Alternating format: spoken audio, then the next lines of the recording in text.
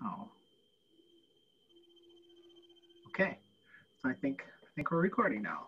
Um, all right, uh, hello everybody. Uh, my name is Nate Polash. I'm uh, one of the organizers for Cafe Scientifique Twin Ports, and uh, today uh, we wanted to do a short video with Emily Stone um, to talk about a really neat uh, photography technique that Emily has been utilizing recently. Um, anyway, uh, so a, a, little bit about Emily. Uh, Emily is a naturalist and an education uh, director for the Cable Natural History Museum in Cable, Wisconsin. Um, if you are one of the Cafe Scientifique Twin Ports uh, diehards, you will recognize Emily from uh, her presentation um, a couple years back, which was telling us all about uh, interpretation and, and some of the amazing stories that exist out in, out in the wild. Um, I remember uh, an awesome retelling of pitcher plant ecology, which I really appreciated.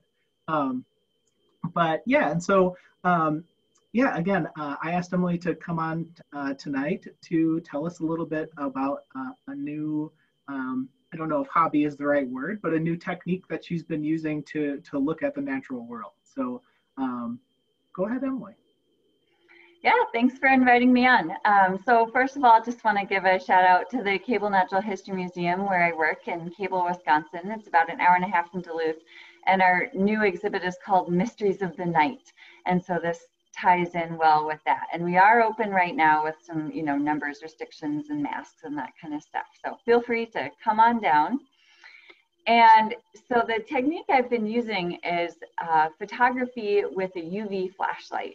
And I have to also mention the reason that I got excited about UV fluorescence in the first place.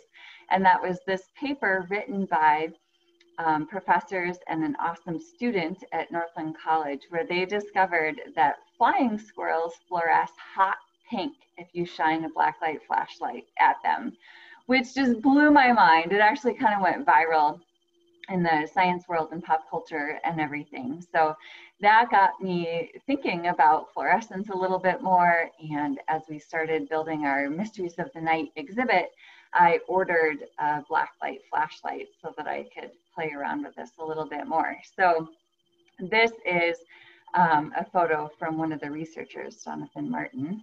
And then this is my photo of a flying squirrel at my neighbor's house. Um, so adorable and hot pink. That's amazing. fast though. So um, this is the, the best photo I was able to get of them because of a combination of needing a better camera and a better tripod. Um, so I have improved some a little bit since then.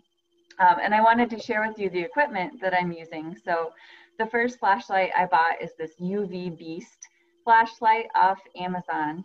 Um, and I want you to note uh, the nanometers, the wavelength that it uses.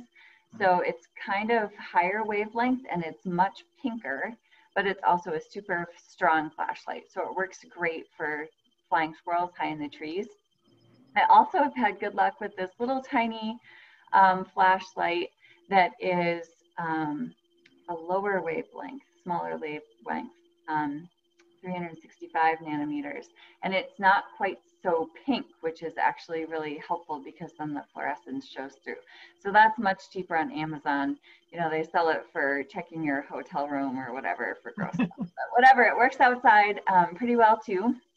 Yeah. Um, that's my equipment. And then just a variety of cameras, actually my cell phone and a couple different other cameras. I take them outside and kind of the key is to get the lighting right and to have a steady hand. So this is a raspberry leaf in my yard. You know, I first just, well, after the mosquitoes died, I had to wait for that. Then I took the flashlight outside at night and just shined it around. And what did I find? A bunch of plants fluoresce red in UV light. And this doesn't even really do it justice. Um, you know, a bright green raspberry leaf turns red.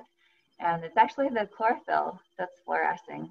There are some more spectacular ones um, out there. So this is a lichen I just found on my campsite in the Boundary Waters last week. So it fluoresces this brilliant yellow, and I also took a picture of it um, in regular light. So just this boring gray lichen on a cedar twig. And in the UV light, it is fantastically yellow. Um, that's always fun. So mushrooms um, are pretty fluorescent, which is really fun. There was a, a foray, mushroom foray a couple of weeks ago here. And so we, I don't know, a dozen um, mycologists and I scoured my driveway for fun stuff. So um, a white mushroom really fluoresces. Um, this is called tapioca slime mold. Hmm. I'm pretty stoked to have it on my driveway. And it has this cool kind of greenish white fluorescence. Um, this is a carrion beetle eating a mushroom and its um, little mantle is usually kind of yellow um, but here it's that weird like greenish white. Um, and this, this is moss, which is fluorescing red, but you can see this is with the UV Beast flashlight. And so everything kind of looks purple.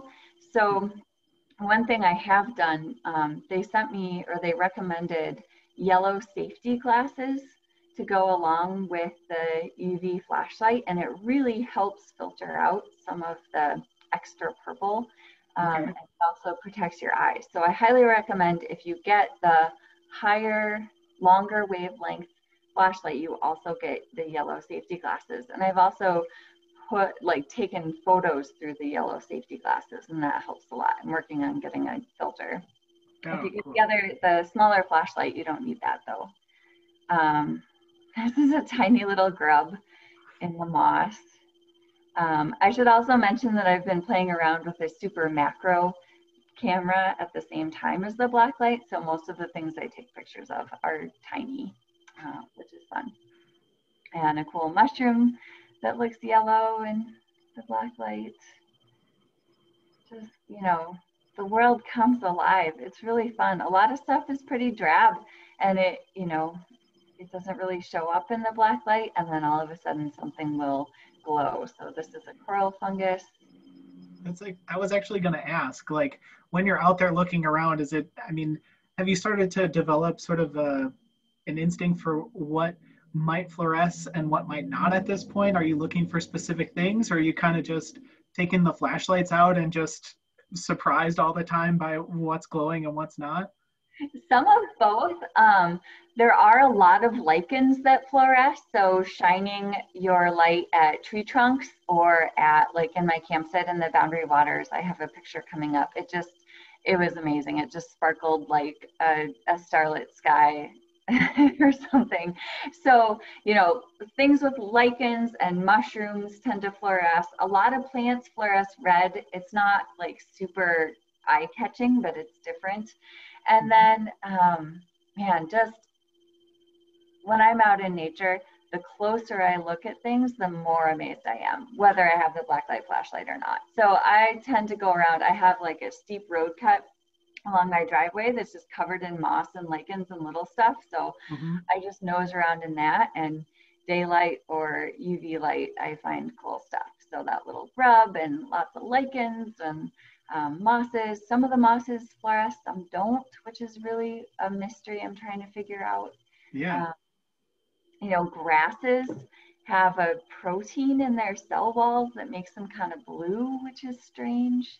Hmm. Um, this is a super bland lichen that's all over the trunks of balsam fir trees, like everywhere. And then in the black light, it turns bright yellow.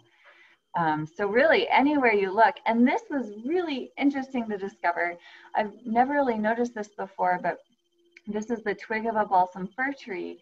And in the mm-hmm. center there where the, the little twigs join, where the side twig joins the main one, there's a tiny bit of lichen. And every single intersection on every single balsam fir tree around my campsite has that lichen at that intersection. Like I had no idea that was there until the black light made it glow. Um, yeah definitely an avenue for discovery. This is the bedrock on Bandadad Lake in the Boundary Waters. And just like a bunch of different types of lichen.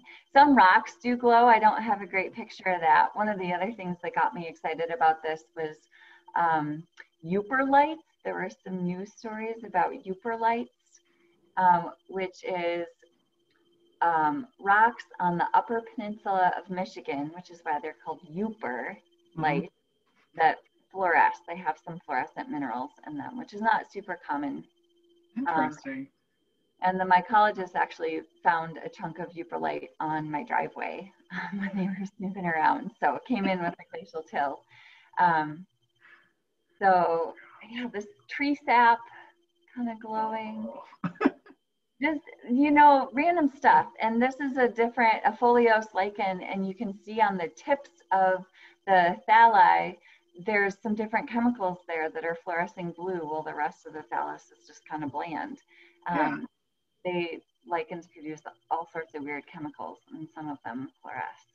So this is one of my favorites. I love pixie cup lichens anytime, but I mean, it just glows like crazy. Um, and there's moss behind it. So this is with the small flashlight with the shorter wavelengths. And so there's not as much like purple interference and you can really see the, the fluorescent colors pop. Oh, that's exciting. So that's all the photos I had, but do you have any other questions about what I've been up to or how I've been doing it? Um, I mean, nothing comes to mind right away. Well, I have one one particular question, which which you know is sort of just getting a feel for like what objects, you know, again, sort of sort of are fluorescing like this. So, you know, we've got the flying squirrel in the background there. Are there other like mammals that are doing this? Is that was that like pretty like um you mentioned that that paper came out from folks at Northland, and I'm just hearing about this stuff right now. But um, yeah, like what was sort of the fallout from that? Are people now, you know, like have you checked out any other animals specifically to see how the, if they fluoresce or not? Yeah, so well, okay, so first of all, what inspired John Martin, the guy who first flashed the flying squirrel, to Mhm. discover that is that he had just read about a tropical frog that fluoresced. So he was trying to find a gray tree frog around here to see if that fluoresced. They don't. But while he was out in his yard, a flying squirrel flew over and he um, found out that it was pink. Um, the same team at Northland um, that wrote the flying squirrel paper is doing more research, but if they if they told me what they found, they'd have to kill me, basically. Like it's it's one of those like it's secret until it's published. So um, I don't know what they're doing. They definitely investigated a bunch more mammals. Um, in the original flying squirrel study, they discovered that tree squirrels don't fluoresce. So Yeah. like gray squirrels and red squirrels don't. And Okay. they um, they mostly tested this in um, museum specimens. Um, Okay. That stuff. But um, you know, there's who knows what else fluoresces? And actually, there are a few birds that we know fluoresce. So, Hmm.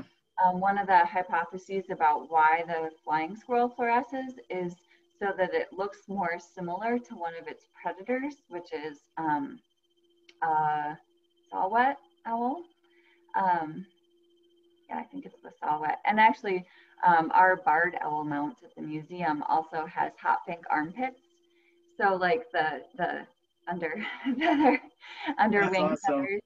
Um, and so maybe like as the owl is gliding, it looks kind of pink from the bottom if you can see UV light. So if the flying squirrel is gliding, it kind of looks pink from the bottom and looks similar to its predator, so it doesn't get eaten by its predator. Or, you know, there's we don't really know why it does yet. Um, but actually, a, a lot of things can see UV and fluoresce and fluoresce. So like there's a, a moth, I didn't include that picture, but its wing spots were fluorescing. Um, a lot of flowers fluoresce so that bees can see them and butterflies can definitely see fluoresce UV light too.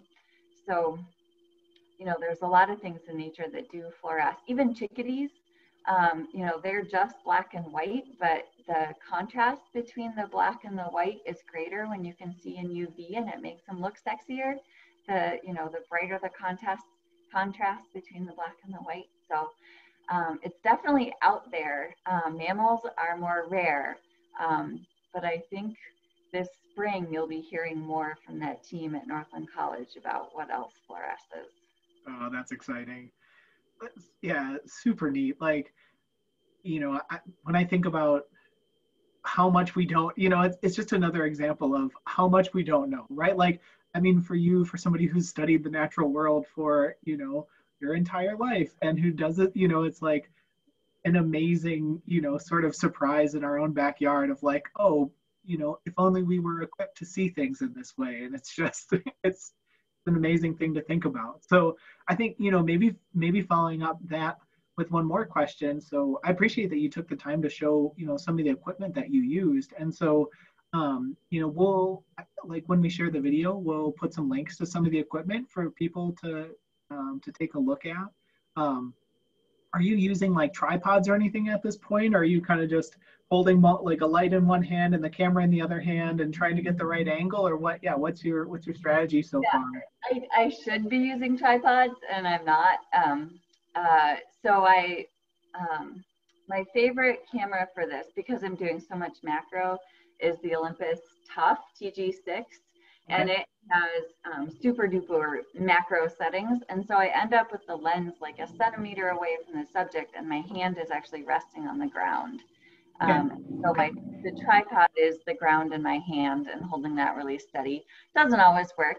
Um, and then I'm like holding the flashlight in my other hand and like aiming it just so and it's a little bit of a mess sometimes yeah. and that's one reason i didn't get a very good shot of the flying squirrel is i hmm. was using think just my cell phone and i had tried to use a tripod but its legs were falling off so now i bought a better tripod so um, you know there's always a new toy to buy um, and there are definitely people um, on the internet doing it a lot better than me uh, as long as i stick with macro i feel like my hand tripod works pretty well though so yeah yeah. Exci- yeah, yeah, really exciting. So, and you said so the exhibit that's coming up. I um, are you going to feature some some of the photographs in here? Is this going to be a, a big part of the exhibit? Is this going to be the topic of it? Tell us a little bit about the upcoming exhibit. No, so and you know the exhibit's already already built. We are um, adding in a few new um, tidbits though. So uh, Mysteries, is, Mysteries of the Night is all about adaptations of animals to survive the night. So hearing and eyesight and smell and um, the, the day and night cycles of trees. We have a really cool diorama too, where you can shine your flashlight around and see different animals hiding in the dark. Um, and we are planning to add probably like a black light corner in the diorama where we'll put some um, fluorescent lichens and rocks and things and then and shine a little UV light on them so that visitors can can have that experience too. It's also a very auditory exhibit. We have a bunch of different mysterious sounds um, that you might hear. Um, and we're in the process of creating an entirely online version of the exhibit too, just because of the world today. So um, very soon that'll be um, posted on the museum's Facebook page um, and our website too, of course. That'll be announced on the Facebook page so that you can actually read all the text, you can listen to the audio and watch a couple videos that we have in the exhibit if you can't actually make it down to cable and visit us. And one thing, one way it could work really well is if you come and you experience kind of the ambiance, it's, it's all dark in there with backlit text and some cool lighting and stuff. And then if you don't feel like wearing a mask for as long as it takes to read all the text, text you can go home and read it in the comfort of your own computer with no mask. Um, so yeah, it's that's been really fun. Um, I I love nocturnal stuff. I've always liked uh, giving night hikes to kids, and so next year, hopefully, if we can have more public programs, we'll be offering like black light night hikes to um, maybe offering like a blacklight uh, rental or checkout program um, so that people can take home a flashlight for a night or two and check out their own yard, yeah. check out flying squirrels that kind of stuff. So the best way to keep posted on that is our Facebook page, or um, we also have a weekly e-newsletter you can sign up for on our website, and that'll give lots of information about all the new stuff coming out. And that weekly e-newsletter also has my natural connections column in it. So mm-hmm. you mentioned that I gave a talk at the Cafe Scientifique, and that was about some of the topics in my first book, Natural Connections. Um, I know I have a second Natural Connections book out too, And I still am writing a weekly newspaper column, which um, just last week it was about taking the UV flashlight down my driveway and all the stuff I saw and a little bit of a description of how fluorescence works. And so that should have been in the Duluth Reader last week, I think, but it's in lots of other papers and you can also find it on our website. We'll put the link um, somewhere handy. Um, so you can check out that. And, you know, as you mentioned, I really get excited about discovering new things all the time. So every week it's some new cool thing in nature that I discover and want to share with you. Too. That's awesome. Yeah. Well, great. Yeah, and yeah, we'll definitely we'll post we'll post a bunch of links along with this just to give people information on all the different stuff you got going on and what's happening at the Cable Natural History Museum and and yeah, even even the stuff if you want to find you know equipment to go and take a, a an image like this or see the world like this. So um, yeah, well, uh, on behalf of Cafe Scientifique Twin Ports, uh, I just want to say thanks a lot for uh, taking some time with me to, to talk about this and share this information. Um, what a great time to uh, learn a little bit more about uh, some nice activities that we can do sort of on our own and um, a really neat way to, to sort of see our, our world here. So um, yeah, so thank you again. And um, yeah. Yeah, thanks for having me. It was super fun. All right.